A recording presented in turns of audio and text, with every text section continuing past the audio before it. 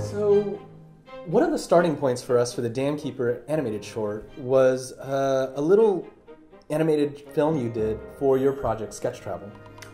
Yeah, it was, uh, I, don't even know if I call it a film, but it's more like a promotional video that I created. Uh, and you know, at the time, I had never done a film or even animated anything ever in my life.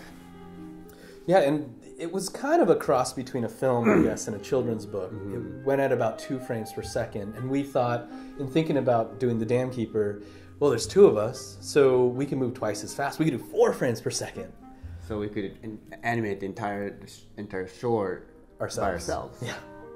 Of course, naively, we thought that, and in the end, uh, we ended up doing about eight frames per second, but also We didn't animate right wisely. Yeah. wisely, right? Yeah. Um, so here it is. Uh, check it out if you haven't seen it before. The Sketchtravel short.